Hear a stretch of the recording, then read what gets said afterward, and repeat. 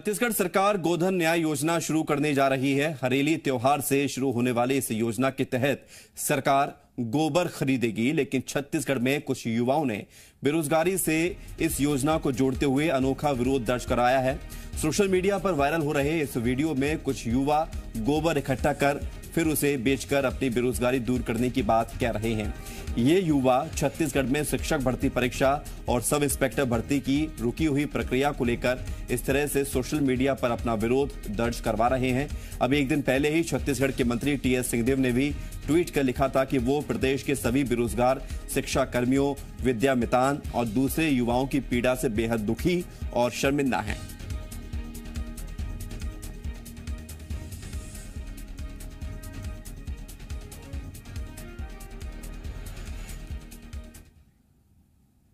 सरकारी भर्तियों का इंतज़ार कर रहे युवाओं का वीडियो सामने आने के बाद बीजेपी और कांग्रेस में जुबानी जंग तेज हो गई है।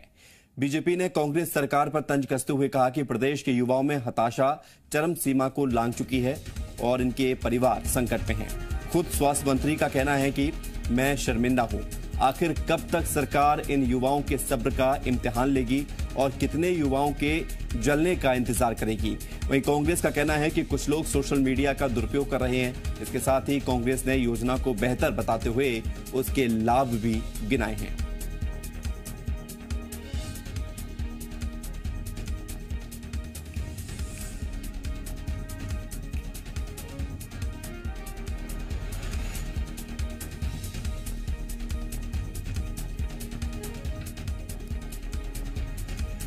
तो ये वीडियो सोशल मीडिया पर युवाओं के द्वारा डाला गया था। गोबर इकट्ठा करते हुए ये युवा नज़र आ रहे हैं और एक तरह से विरोध कर रहे हैं। ये लोग रोज सरकार से गुहार लगाते हैं और अपने हालातों के बारे में बताते हैं कि ये लोग बहुत दुखी हैं। पूर्व मुख्यमंत्री डॉक्टर रमन सिंह जी ने भी चिट्ठी लिखी सरकार को, नेता प्रतिपक्ष कौशिक जी ने भी लिखी, और स्वास्थ्य मंत्री टीएस बाबा जी को भी। ये कहना पड़ा कि मैं शर्मिंदा हूँ। तो आखिर अब कब तक सरकार इन युवाओं के सब्र का इम्तिहान लेगी और कितने लोगों के जलने का इंतज़ार करे? सोशल मीडिया का दुरुपयोग करके हाथ से परिहास करने के लिए कुछ लोग भले ही इसका दुरुपयोग करेंगे सरकार गोबर खरीदेगी। गोबर एक ऐसी महत्वपूर्ण वस्तु है जिसके माध्यम से सरकार ग्रामीण अर्थव्यवस्था को रोटेट करने जा रही है।